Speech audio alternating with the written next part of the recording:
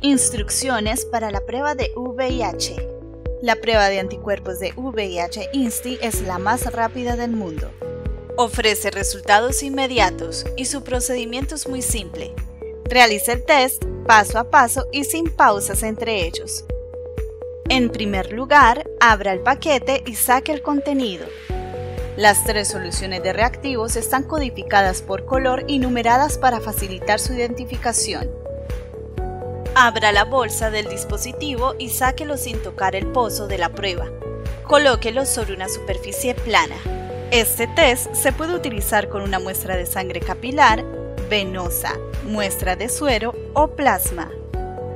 Gire y extraiga la punta de la lanceta. Frote el dedo y la mano para aumentar el flujo sanguíneo. Coloque la lanceta en la punta del dedo y presione. Frote el dedo para producir una gota grande de sangre y deje que una gota caiga en la botella 1. Aplique el apósito adhesivo. Agite cuatro veces la botella 1 y luego vierta todo el líquido en el pozo de la prueba hasta que éste desaparezca por completo. Toma la botella número 2 y agite cuatro veces la solución. Luego, vierta el líquido en el centro del pozo. La solución debe ser absorbida rápidamente. Agite cuatro veces la solución clarificadora número 3 y dispense todo el contenido en el centro del pozo hasta que el líquido desaparezca. La solución aclarante reducirá el fondo para proporcionar un mayor contraste a las manchas y facilitar su lectura. Interpretación de los resultados. Los resultados se pueden leer inmediatamente y solo podrá leerse durante los siguientes 60 minutos.